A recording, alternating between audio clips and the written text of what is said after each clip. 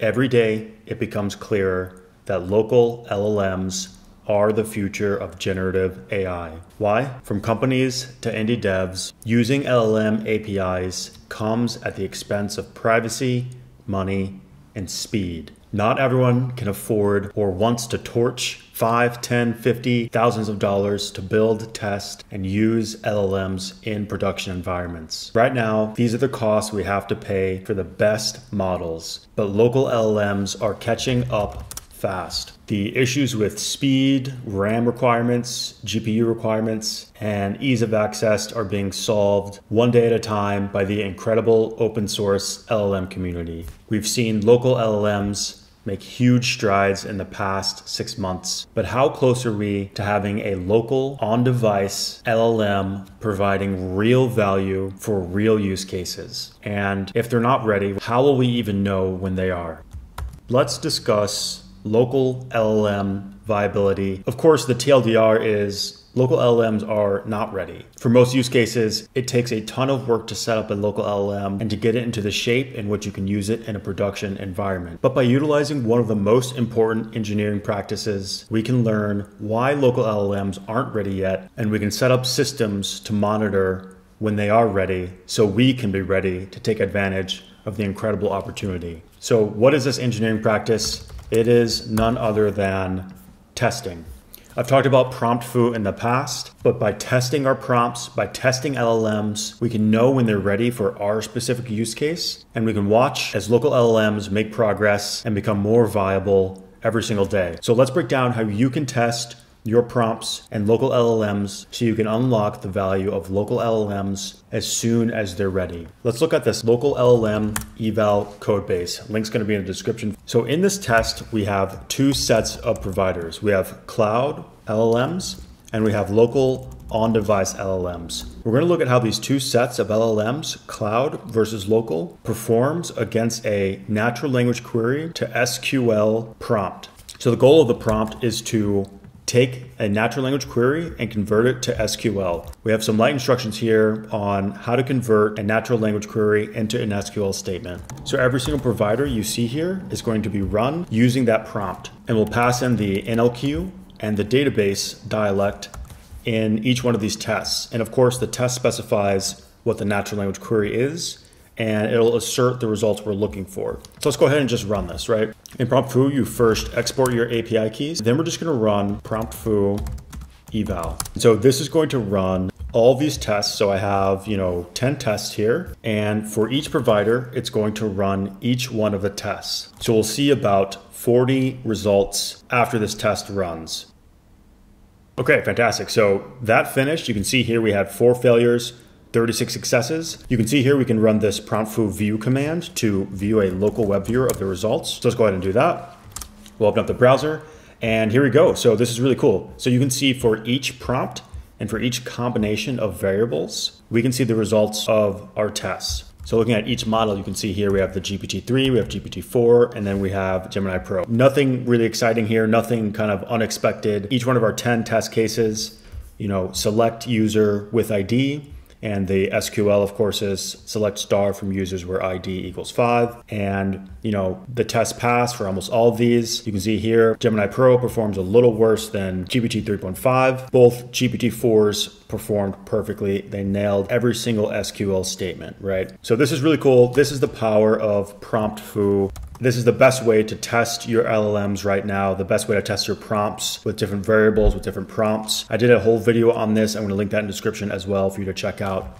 You know, as expected, the best models perform the best. You know, we pay for these. We do expect, you know, top high end performance out of these models. And you can see here in the test.yaml file, in the code base. And just to mention it here, you know, we're operating inside of this NLQ to SQL test suite. So essentially every directory here represents a test suite. You can, you know, play with these in the code base. It's a great way to get started with prompt foo and start testing your specific use cases that you want to nail. We need to move away from using LLMs as toy applications and really start building real valuable products with them. And how do you build real valuable products? You need to know that your code, that your infrastructure, that your product is working. And of course, the way to know that your product is working, your application is working is to test. But so let's go ahead and take a look at our on device local LLMs. I'm going to just go ahead and run the test first, and then we can talk about how exactly it's set up. The results of these tests are really, really interesting. So let's go ahead, comment these out.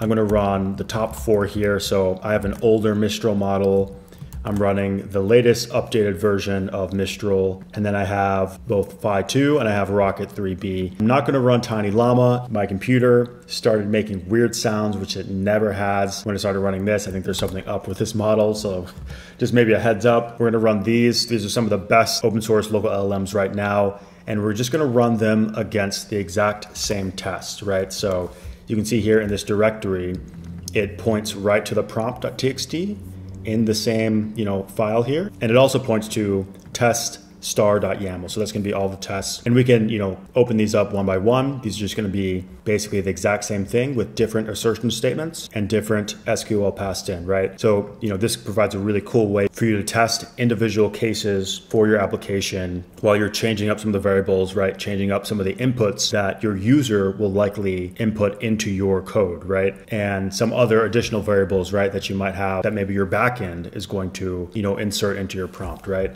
And then you can use this really just clean and simple syntax, uh, you know, with curly braces to you know specify exactly what you want swapped out in your prompt. So really cool. I love how they set this up. Shout out to all the PromptFoo developers. They're building a really fantastic tool here. Without further ado, let's run the on-device local LLMs and compare the results. Let's see how close they are to providing real value for real use cases. So to run these, we're just going to do the exact same thing, PromptFoo eval, and here we go. So right now, under the hood, a bunch of RAM and resources is being, you know, reserved and run to fire off these local LLMs. For those of you that don't know, I'm not using Ollama. I'm using something called Llamafile. I did a whole video on Llamafile. Definitely go check that out. Long story short, if we open up the custom models directory here, you can see we have a couple JS files that allow us to run custom local models, but we also have a bunch of Llama files. And again, the best place to go to learn about Llama files is that video and then the original Llamafile code base. The whole idea is you can run an entire local open source model in a single file, and it's really, really incredible. I just want to point out something also here. You know, while these tests are running, my M2 high end MacBook Pro just started humming. First time I've ever heard my M2. So I just want to point that out. Like these local LLMs are going to be putting your device to work if you can run it at all even some of these smaller models still really resource intensive but let's go ahead and just let this finish okay so it looks like we're getting stuck here on one of these models i'm to go ahead and guess this is the rocket 3b i'm just to comment this out we're to rerun and hopefully we'll get everything through. We are super early to using local LLMs in this type of way at this type of volume. So I'm not surprised to see things going wrong here. We're just to rerun. I'm almost confident that my machine is just maxing out and killing one of these programs and freezing and stalling everything else. Okay. So that finished. We did have to take out Rocket 3B, but let's go ahead and just look at the results. So you can see here right away, we have 14 success, 16 failure. When we were using cloud providers, we had most of our cases succeed, right? So let's look at the results here. Right off the back, you can see that our top performing model is going to be Mistral 7B. It looks like both of the previous version and the new version came really close to performing really well. Let's go ahead and just look at the exact cases, right? We have a couple of cases here, you know, select five users where we are selecting from users limit five, but we're looking at a specific column and not every column, which is what most of the higher end models do. And then we have, you know, select just five users. It's trying to order randomly for some reason, uh, order by random here again. And then we have select all user fields. You can see that this was working here, um, not working here. And you can see here, Phi got that one right. And then you can see uh, Phi just fully crashed. Um, you can see that uh, looks like it probably just blew out of memory. And, you know, this just kind of goes to show the point that, you know, these models aren't ready. They're not really ready to be run on device at scale. And, you know, to be fair, I am pushing my machine pretty hard by running all these tests really fast back to back. What it looks like Llamafile is doing is allocating a certain amount of memory to run the models. So it's kind of setting it up, mounting it, and then it's running the prompts against it, right? So any local LLM provider is going to have to do that type of work. It needs to mount, it needs to allocate memory, a large chunk of memory in order to actually run any one of your prompts. But, you know, all in all, even with Phi crashing, even with it looks like you know we had uh, Rocket 3B crashing, still not too bad, right? In a really closed environment, you could feasibly see you know running one of these LLMs with decent success, specifically the Mistral model, right? Like we could clean this up, we could do some more prompt engineering to get this working in some capacity. But you know, why would I do that right now when I could just click on GPT 3.5, GPT 4, and have all of these passing at 100. If we open up our eval runs here and just go back to the previous run, you know, the results look very different, right?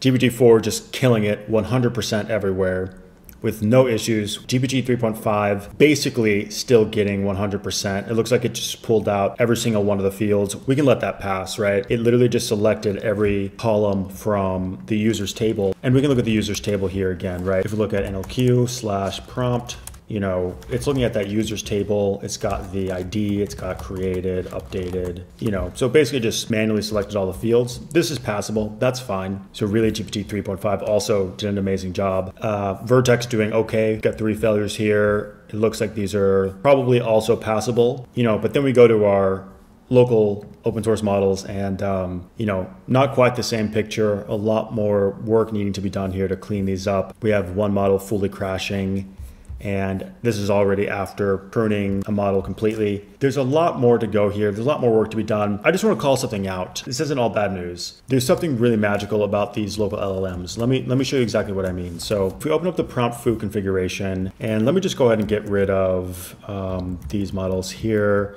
and let me just run Mistral I'm to boost the repeat to 5. Now Mistral 7b is going to run 50 prompts using this prompt template. It's to run each one of these tests 5 times, right? So, you know, we have 10 tests here. That's to give us 50 tests. I'm just to let this rip. Let me show you something really cool, something really magical about these local open source models. So that just finished. You know, Mistral performed fairly well. Looks like we got 30 successes, 20 failures. And, you know, again, I just want to call it out running the M2 64 gigabyte memory. It is officially powered on, it, and it never does this. My M2 stays dead quiet all the time. So let's go ahead and look at that test, right? So you can see here, we got 60% of the test correct. This is another reason I like Prompt Foo. In reality, using LLMs is going to provide variable results, right? They're non-deterministic by nature, even with your temperature at zero. So I like to use this repeat option to see how many times will something work? And then you can get into the probability of your prompt and your model and how likely it is that, you know, for any user, it will produce the right result. So you can set that there with the evaluate options repeat five. That's a really handy feature. Running this model over and over and over really lets you test the output. It's local and this costs me absolutely nothing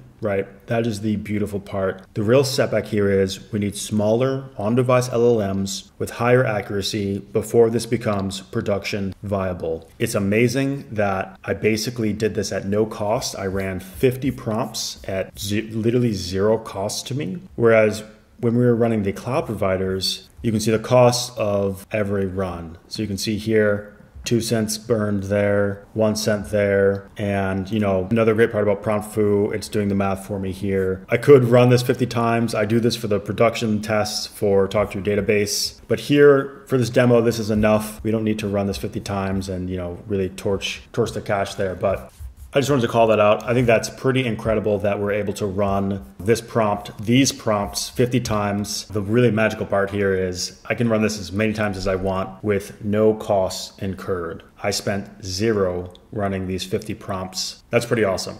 So real quick, I'm to talk about a couple things, Llama file and how this code base is configured so that you can run local models. So, you know, first we have to talk about Llama file. Llama file is this really incredible piece of technology Basically, it lets you run LLMs and a LLM server out of a single file. Link in the description, of course, but let me go ahead and just show you what I mean. We can mount one of these models right now in the custom model directory. We can open up the shell. Let's open up a new terminal and I'll just type custom models and let's just go ahead and run that. Um, we'll run Rocket, the one that failed. So I'm just gonna run, literally just running that file it's going to load it into memory. It's going to do everything it needs to run, and then bam, it's now running a clean chat-like interface on port 8080 and you know we can run some prompts fix this sql statement from user equal true and there you go where auth status equals true and user ID is not null. It's modifying some stuff here. Again, these are local models. So, you know, we, are running Rocket 3B. it's, it's local, you know, it's running right in memory. So of course it's not gonna be perfect, but it is pretty cool. You know, list five cool things about TypeScript. Let's see where it pulls that. Nice type inference, type checking, code reusability, accessible type system. So anyway, just wanted to show that off. PromptFoo allows us to create these really simple classes that basically run arbitrary code and return the response. So it has a really clean, simple API. We can go ahead and just look at that. So yeah, so you can see here, if you mirror this API, you can basically run any code, you can run any LLM and return the right response, which is the provider response here. And you can see the provider response is going to be this object structure here. And if you return that, it's going to post your results in the UI and handle the response from your prompt test. So that's what we do here. We have this custom model base class which handles all the logic. Feel free to check out this code base, dig into it if you want. And then we have upper level classes that basically just override a couple key methods to make the local LLM work and return the results, right? So we have versions for the Mistral, for Phi, for Rocket, and for Tiny Llama. So that's all here. It's going to be in the code base, link in the description once again. So, you know, as you can see, local LLMs aren't there yet, but they are definitely getting there. This is something I'm keeping a sharp eye on. As many of you know, I am actively working on Talk to Your Database, a text to SQL to results desktop application that's going to reduce the time it takes for you and I to write SQL and get results out of your databases. I can't ship this product in good faith to developers working in real production environments with real stakes if I'm not testing the underlying technology. You can't really productionize your software if you're not testing it, if you're not proving it out. So I'm actively testing cloud providers to make sure that they're producing the right outputs you know, using PromptFoo. And I'm also testing and really excited and, you know, looking at, um, you know, adding local LLMs to talk to your database. Long-term goal for that application and for all the applications I build is to run the LLMs right on the device, right? So we don't have that cloud dependency, that latency and, you know, the privacy concerns and all that, right? Just a specific use case I wanted to share. I think in order to get real value out of local LLMs, we need to be monitoring how these perform against the real cloud providers, right? For example, you could take a fine-tuned Mistral model that is, you know, hyper focused on your use case and compare it to, you know, like an out-of-the-box GPT-4, right? So that would be a great test to run, right? Like just compare your local model to, you know, a GPT-4 model. And this is the key, I think, really paying attention to this over time as new models get rolled out both on the cloud and local side. You should have your test ready, ready to quickly add new models, new prompts, new variables so that you can be right on top of it when local LLMs are ready for production. That's where I'm going to be. It's really clear to me that local LLMs are the future. The only question is when and how quickly can you and I move on the insane value that's coming out of local LLMs. Please use this code base as a launching point to, you know, help you get all of your tests set up for your own personal use, definitely for your, you know,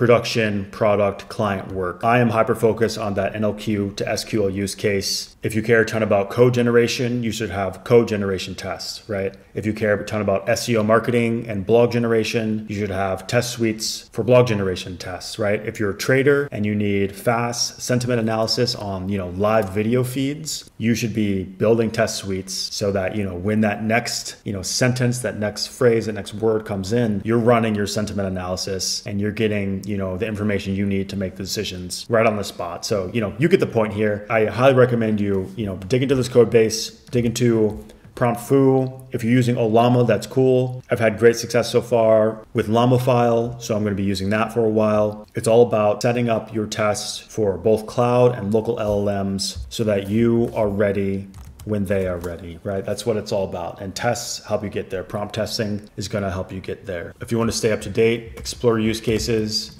and discuss the value propositions and witness real products being built with local LLMs, drop the like, drop the sub, and I'll see you in the next one.